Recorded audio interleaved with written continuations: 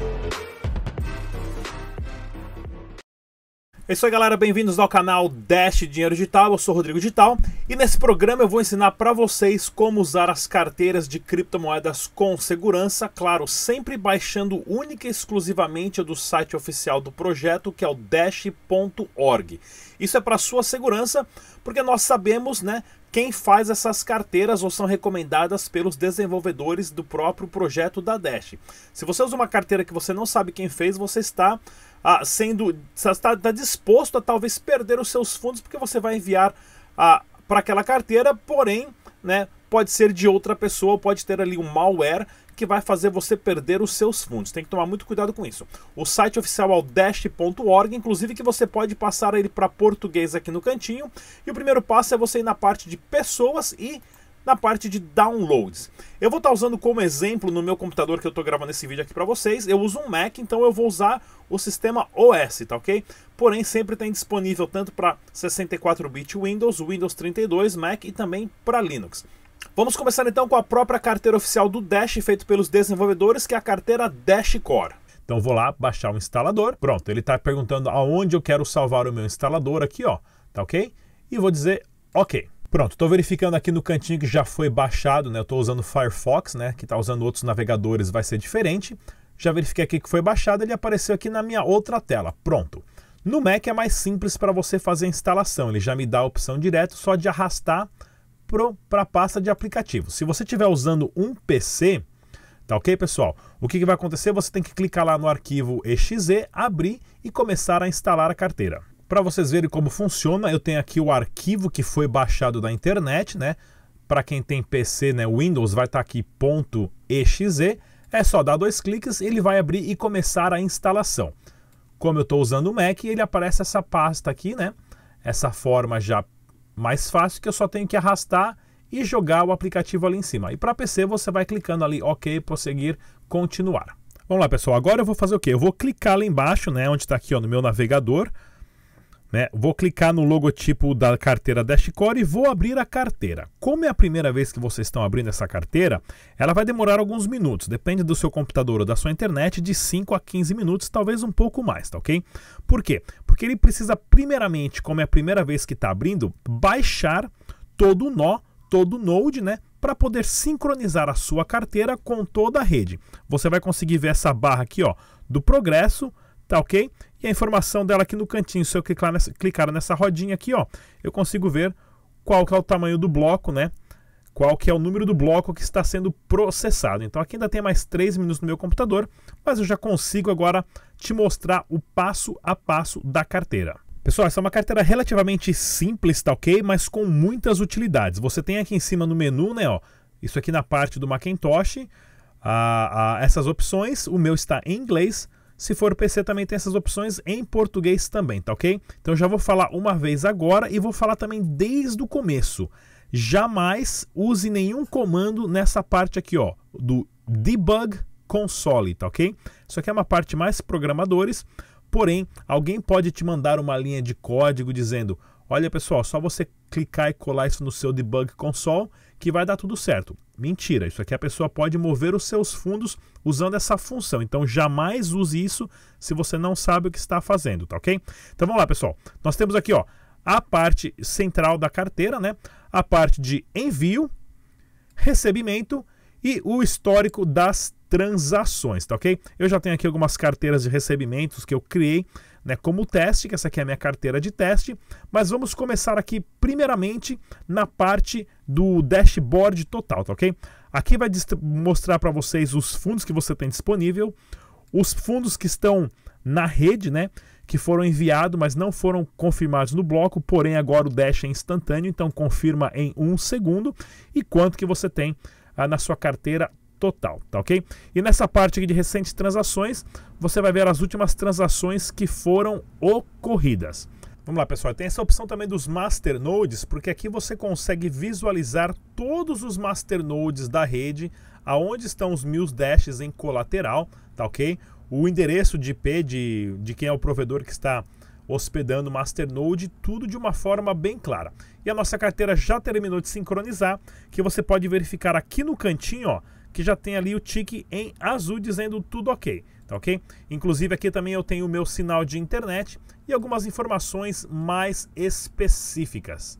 Muito importante, observe que nessa parte aqui ó, não tem o cadeado ainda, porque a nossa carteira ela está aberta, ela não está com uma senha. Eu vou ensinar daqui a pouco como é que faz para pôr a senha aqui para ninguém mover os seus fundos. Vamos lá, pessoal. Essa tela que vocês estão vendo aqui, ó, essa aqui é a tela do meu celular, né? Como eu gosto muito de Apple, de Macintosh, eu consigo conectar meu celular no computador e eu consigo ver a tela do meu celular. Então, olha, vocês podem ver que eu consigo mover, né, minha, o meu celular e ver e mostrar para vocês o que está acontecendo. Então, eu vou fazer uma transação mandando o dash do meu celular diretamente para a carteira que é essa daqui que está no meu computador.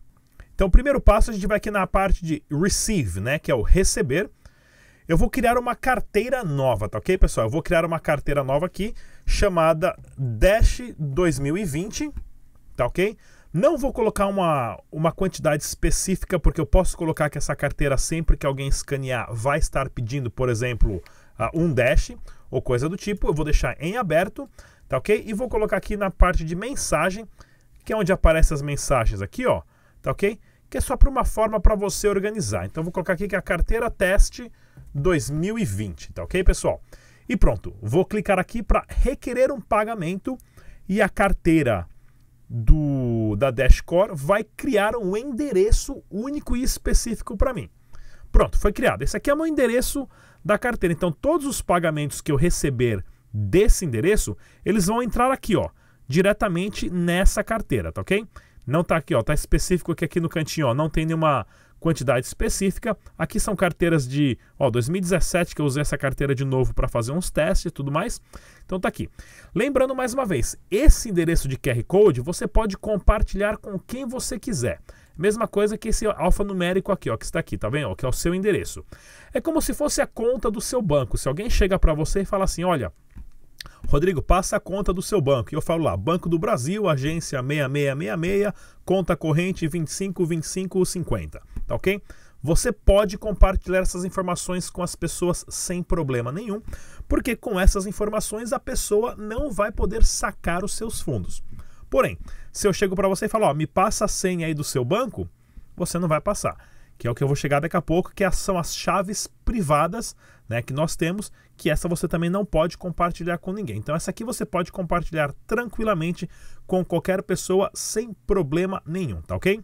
Então vamos lá, primeiro passo que eu vou fazer, eu vou clicar aqui, ó, copiar o endereço, copiei, tá ok? Ou eu posso vir aqui selecionar e dar um Ctrl C, Ctrl V também, tá ok? Copiei o endereço e agora eu vou vir aqui na minha carteira no meu celular e vou postar esse endereço aqui, tá ok, pessoal? Nessa parte aqui, ó, Pay Address from Clipboard, ok? Fazer o pagamento do endereço que foi copiado no clipboard. Pronto, no meu celular eu já copiei esse endereço, agora eu vou no meu celular vou colocar aqui, ó. Pronto, já está lá, o mesmo endereço, ó. Sempre confirme as quatro primeiras letras e as quatro últimas. Então lá, XPF3, XPF3 OK, últimas BYWZ, BYWZ. Porém, com a atualização nova do Dash Dinheiro Digital, isso tudo vai mudar e você vai poder sincronizar os seus contatos e mandar o dinheiro diretamente para o nome da pessoa e aquela pessoa vai receber os fundos porque por trás vai já estar tudo programado e esses endereços alfas numéricos grandes vão desaparecer no Dash Digital.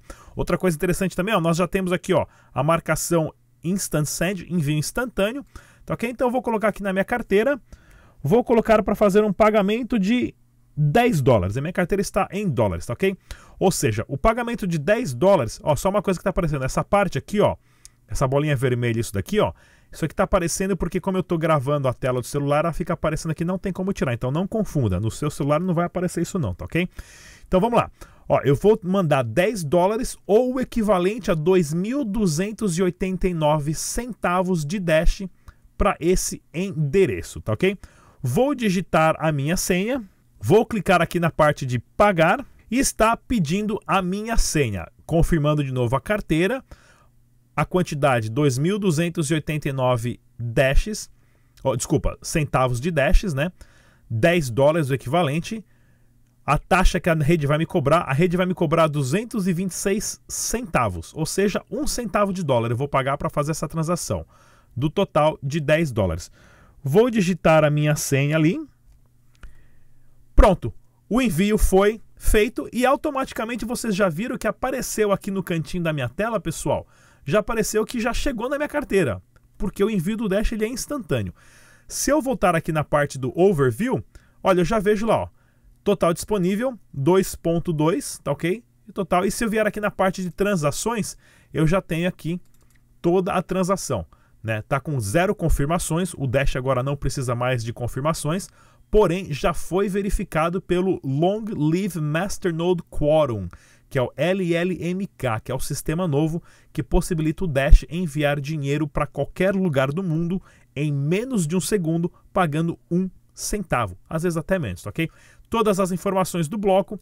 Daqui a dois minutos e meio, quando os masternodes mandarem essas informações para os mineradores, aqui vai aparecer seis confirmações e tudo mais. Se você é novato, não se preocupe com nada disso. Isso nada mais é, nada menos do que o recibo da sua transação. Ele fica aqui, ó, no transações ou na parte aqui, ó, últimas transações, tá ok, pessoal? E agora a gente vai fazer a parte inversa. O que, que eu posso fazer? O Dash eu não preciso esperar seis confirmações, 10 minutos para estar tá registrado no bloco. Eu já posso reenviar esse dinheiro automaticamente que, que eu vou fazer? Eu vou pegar um endereço de carteira que eu tenho e vou mandar esses 10 dólares para minha carteira, tá ok? Pronto, vamos lá então, pessoal. Eu já tenho o endereço para quem eu vou mandar esses 10 dashes que eu tenho na minha carteira. Então aqui, ó, para quem que eu vou pagar? Entrar, né, com o endereço do Dash, que é lá, começa, os endereços do Dash sempre começam com X, tá ok? Vou colocar o endereço que eu vou pagar eu posso colocar ali qualquer coisa que vai sair no recibo digital, tá ok? Eu posso colocar ali como. Inclusive, pessoal, esse endereço aqui é o meu endereço que está no meu YouTube para quem quiser fazer alguma doação, pagar ali, mandar 5 reais para pagar uma cerveja, fiquem à vontade, deixem o Rodrigão bêbado. E vou colocar aqui a quantidade de dashes que eu tenho na minha carteira, tá ok? Lembrando mais uma vez, eu tenho disponível 0.22 89, ou seja, eu tenho 2.289 centavos de Dash que eu posso verificar aqui no meu balance. Essa opção aqui, pessoal, eu posso, tá vendo? Eu posso uh, subtrair a taxa de envio, tá ok? Desse valor, ou seja, se você vai mandar 10 reais e você vai subtrair um centavo, a pessoa vai receber R$ 9,99, ok? Ou 10 reais, 10 dólares, vai receber sempre um centavo a menos. Então, é, para questões de você não pagar menos a pessoa, não clica nessa opção. Eu vou clicar nessa opção porque como eu não tenho mais nenhum dinheiro na carteira, se eu não clicar, eu não vou pagar a, a transação e o dinheiro não vai para frente. Então eu vou clicar aqui para substituir o dinheiro, né? Vai extrair a taxa de envio do dinheiro que eu estou enviando e pronto. Eu vou colocar aqui enviar. Porém, essa carteira ela não está ah, ela não está trancada ainda, ela não está com uma senha segura. Então qualquer pessoa pode receber sem problema nenhum, porém na hora de enviar a pessoa pode só pegar os meus fundos e enviar. Então eu vou fazer esse teste para vocês aqui. Eu vou enviar a, a 10, esses 10 dólares aqui. Na verdade eu vou fazer assim, ó, vamos fazer assim, ó, vamos colocar metade. Eu vou colocar metade sem o sem a, a senha e a outra metade com a senha. Então eu vou tirar aqui, ó, eu vou colocar mil 289 do, é, é, centavos de Dash e vou colocar enviar. Está dizendo aqui, ó, em 3 segundos vai estar disponível. Pronto, já está disponível. Tem certeza que você quer enviar 1.289, até um pouquinho mais quebrado, para essa carteira aqui, pagamento da cerveja do Rodrigo, tudo mais. Vou fazer que sim. Pronto, já foi enviado, eu recebo a notificação aqui em cima e na outra carteira já recebi isso sem problema nenhum. Voltando lá na parte do overview, pronto, ó, tá vendo? Ó, eu recebi mais 222, né, dois mil e poucos dash e já saquei 0.12 dashes da minha carteira, tá ok? Mesma coisa na parte de transações, fica ali tudo registrado no seu recibinho. E isso daqui não tem como deletar do blockchain do Dash, de nenhuma criptomoeda. Por isso que sempre tem uma transparência muito importante às criptomoedas. Agora que a gente já ensinou a receber e a enviar fundos, vamos fazer o principal, que é colocar uma senha nessa carteira, tá ok? Como? Nós vamos criptografar essa carteira. Isso é importantíssimo.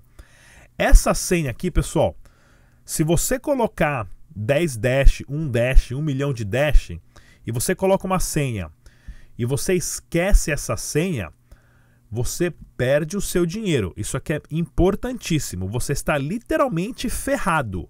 Não existe nada, nem ninguém, nenhuma pessoa, nenhum telefone para te ligar e te mandar uma senha. Essa é a senha de destrancar a sua carteira. Se você perder essa sua senha, você perde seu dinheiro. Não que o dinheiro alguém vai usar o seu dinheiro. Seu dinheiro vai ficar trancado nessa carteira para sempre. Você pode verificar todos os dias que o seu dinheiro está sempre no mesmo endereço, nunca vai ser movido e vai estar lá paradinho por toda a eternidade. Então, escolha uma senha difícil, longa, anotem em 3, 4, 5 pedaços de papel, tá ok? Coloque em vários lugares, tá ok? Com caneta ou, ou não vai tirar foto porque o Google lê né, por, por questões de imagem foto, não vai colocar numa planilha do computador, alguém hackeia o seu computador, tá tudo lá senhas. Seja inteligente em relação a isso, tá ok? Então eu vou colocar uma senha aqui para vocês estarem vendo como é que funciona e já volto no vídeo. Pronto, coloquei a minha senha, vou dar OK. Olha lá, ó, mais um aviso. Se você perder a sua senha, você perde todos os seus Dash. Confirmar? Confirmado. Pronto, já coloquei uma senha na minha carteira, ele está criptografando a minha carteira de uma forma de uma criptografia de 256 bits que é impossível qualquer computador hackear isso, tá ok? Somente um computador quântico daqui a 20 anos, talvez, mas já falaram que é possível mudar isso antes dos computadores quânticos. Esse processo pode demorar um pouquinho, e no final você é obrigado a fechar a sua carteira e depois reabrir ela, ok? Pronto, estou reabrindo a minha carteira. Ela vai fazer a contagem dos últimos blocos que foram minerados. Se você fica uma semana, um mês sem abrir a carteira, quanto mais tempo você fica sem abrir a carteira, mais ela demora para abrir, porque ele precisa baixar todas as informações, tá ok? Vamos lá então. Primeira coisa, a carteira está fora de sincronia. Nessa barra aqui de novo, ela está conectando com o blockchain, fazendo as atualizações. E o principal, pessoal, olha aqui no cantinho, ó. Agora tem um cadeadinho. Tá ok? Então lá, tá dizendo, ó, a minha carteira está criptografada, está travada. Não percam a sua senha, mais uma vez. Vamos tentar mandar uns fundos de novo. O que, que eu vou fazer? Vou pegar aquele endereço que eu já tinha salvo. Tá vendo? Ó, eu copiei e colei o endereço, ele já ficou registrado o pagamento da cerveja do Rodrigão. O que, que eu vou fazer? Quanto que eu tenho de Dash? Eu tenho 0.1 Dash. Vou pegar ali 0.1, tá ok? Vou subtrair a taxa dessa minha taxa de envio e vou colocar enviar. O que aconteceu agora está pedindo a minha senha. Cara, você pode tentar aqui, ó, qualquer senha, você vai ficar aqui um milhão de anos, um bilhão de anos, um trilhão de anos e ninguém vai conseguir hackear isso. Isso é para qualquer projeto sério de criptomoeda, tá ok? Mais importantíssimo, vou digitar minha senha correta agora e pronto. Em questões de segundos, ele já me dá a validação do Dash e posso enviar. De novo, apareceu ali que já foi enviado, já foi recebido e foi confirmado. Tá ok, pessoal? Mais uma vez, a minha carteira está vazia agora. E olha que legal de novo, ó. Nessa parte aqui das transações fica tudo registrado. E o mais importante, pessoal, né? Você tem ali agora o que?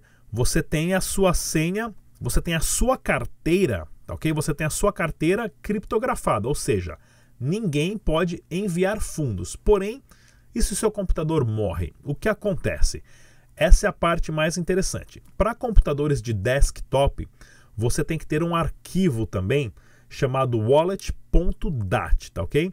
No Mac, uh, ele fica localizado na parte da biblioteca. Vou mostrar aqui para vocês. Vamos lá, pessoal. Esse arquivo .dat, tá ok? No Macintosh ele fica na parte da biblioteca, Application Support, tá ok? E vou lá na letra D de Dash, tá ok? Tá aqui, ó, Dash Core. E é esse arquivo. Esse arquivo, ele é um arquivo pequenininho, ó, ele não tem nenhum mega. Esse arquivo, qualquer pessoa pode ter esse arquivo, qualquer pessoa pode tentar hackear ele, não tem como. Ele está criptografado com aquela senha que nós marcamos aqui, tá ok? Porém, esse arquivo aqui, você tem que copiar ele em uns 3, 4 lugares. Pode até, você pode até inclusive uh, pegar esse arquivo, colocar ele em 3, 4 USBs, deixar guardado, colocar numa HD, até mandar no próprio e-mail, deixar guardado no e-mail, porque não tem como ele ser hackeado. Inclusive o meu computador ele lê ele como se fosse um arquivo do VLC, um arquivo de vídeo, mas não é um arquivo de vídeo, é um arquivo DAT, tá ok? Porém, se você perde o computador, é roubado e tudo mais, sem problema nenhum. A pessoa não vai deixar sua senha no mesmo computador, a pessoa não vai conseguir mandar os seus fundos, tá ok? Isso é importantíssimo. Você compra um computador novo, instala a carteira de novo, pega esse arquivo DAT e só joga ele de novo, substituindo esse arquivo. Por exemplo, eu tenho esse arquivo aqui agora, ó. Por exemplo, eu tenho esse arquivo aqui agora, ó. Tá vendo? Eu, eu pegaria ele e colocaria ele aqui de novo e colocaria para substituir. Né? Se você abrir uma carteira agora e se você substituir o seu arquivo novo pelo velho, o novo não tinha nada mesmo, e você põe lá substituir, tá ok, pessoal? Isso é importantíssimo. Esse arquivo você tem que guardar ele. Por quê? Se seu computador morre, pifa é roubado, com ele você acessa a sua carteira de qualquer lugar. Com ele com a sua senha mais uma vez, tá ok, pessoal? Vamos lá, pessoal. Outra forma interessante de se fazer o backup é possível através do menu, tá ok? Você Outra forma de fazer o backup é através do menu, na parte de arquivos, fazer o backup da carteira. Ele automaticamente vai gerar aquele arquivo que eu mostrei para vocês, tá ok? Vou colocar o nome dele aqui que eu quiser, né? Vou colocar aqui, ó. Colocar ali, ó. Backup do Dash Wallet, tá ok? E nessa parte você coloca o nome que você quiser. Eu coloquei ali, ó, Backup Dash Wallet. Vou salvar na parte de downloads. E ele automaticamente já me dá dizendo que fez o backup e eu posso abrir essa pasta me informando aonde está esse arquivo. Vou arrastar minha tela aqui um pouquinho para o lado para vocês verem. Ó. Vou puxar da minha outra tela. Olha só, ele já criou aquele arquivo DAT né, para vocês. Então, se você tem PC, como eu não consegui mostrar como é que é o passo a passo, na parte lá em cima de arquivo você consegue fazer o backup. Tá ok? Pode até colocar o mesmo nome, uh, wallet.dat. Tá ok? E esse arquivo aqui que é o arquivo aonde ah, tem as informações. Mais uma vez, pessoal, um, um jeito interessante para vocês entenderem, as criptomoedas, o Dash, o Bitcoin, o Ethereum, qual for, ela não mora no seu computador, ela não está no seu celular. Ela está no blockchain distribuído de uma forma organizada em todos os computadores que estão rodando o nó. Esse arquivo nada mais é do que como se fosse uma bússola apontando a direção de onde estão as suas criptomoedas no blockchain na corrente de blocos.